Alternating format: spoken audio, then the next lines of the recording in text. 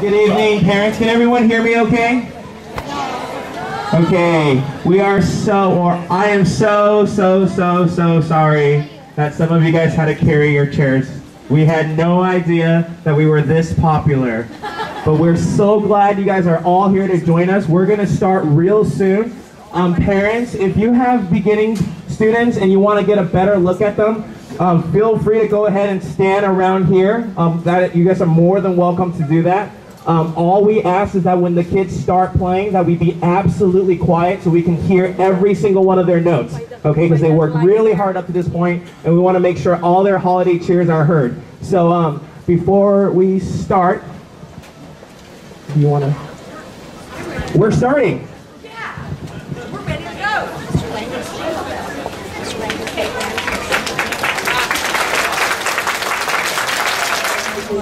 Welcome,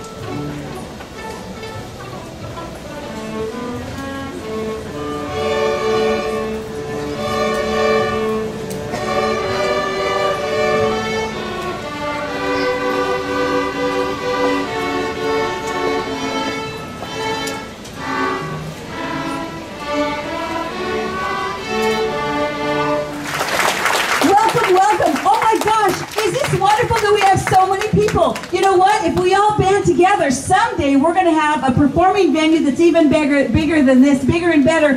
Thanks, parents, for supporting us. Thanks for listening to all this wonderful music at home. Um, I don't. I'm assuming we have all sorts of. I know I have teachers who wanted to come. Thank you, classroom teachers who came to support your friends. Where are you, classroom teachers? We love you. Thank you, classroom teachers. Do we have our superintendent? She was going to come. I'm not there. There's my favorite superintendent, Dr. Ott. Thank you so much.